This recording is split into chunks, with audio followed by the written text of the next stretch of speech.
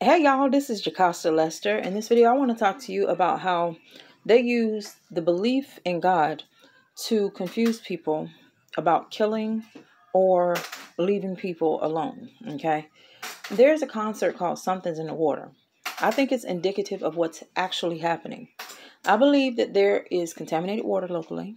Um, I saw what was um, a worm moving in the pot while I was boiling the water. And there's also a combination of factors because there are these drain bugs too. So I don't know if the larva was from the drain bug or from the water supply. But what I want to tell you is this I don't want to speak it into existence. I want to speak it out of existence. Hopefully, there's nothing in the water. But what I started doing, I started tasting um, in certain bottled water. I went and bought some Dasani just to test the theory. Um, and I noticed that the Food Lion water, it has like a oily, um, consistency, like it's oil, like oily substances in it. Okay. Um, that's what the bottled water is like. so the bottled water has that consistency as well as some of the tap water. So I noticed this in the water here. And I know that also they tried to overwhelm us with all of the beliefs because they also started to throw spiritual things on us too. So that we got hit with medical situations, spiritual situations, biological situations, um, just several different fronts where they attacked people in this city.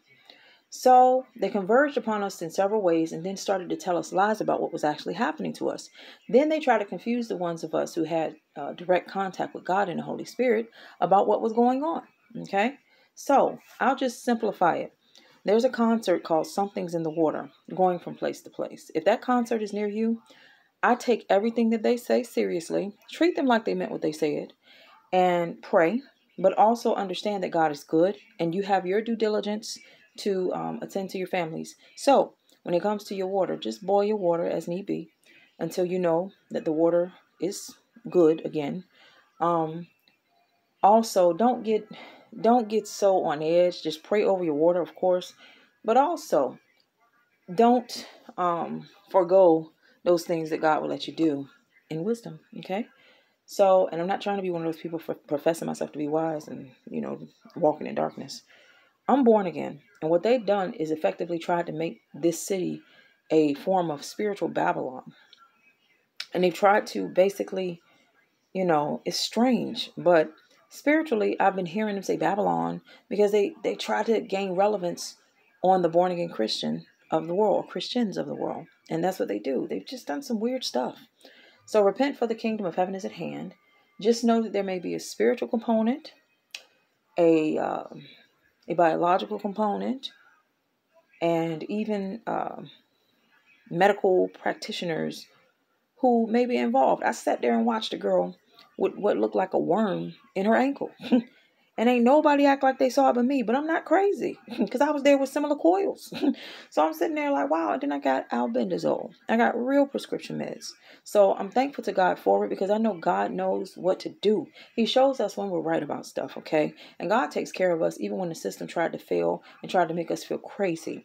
They have a game, an evil, where they will all get together and story tell together to make a person feel crazy. The beast does that. It surrounds people at several institutions and people that support those institutions to try to force you into things that you don't understand. So just know it.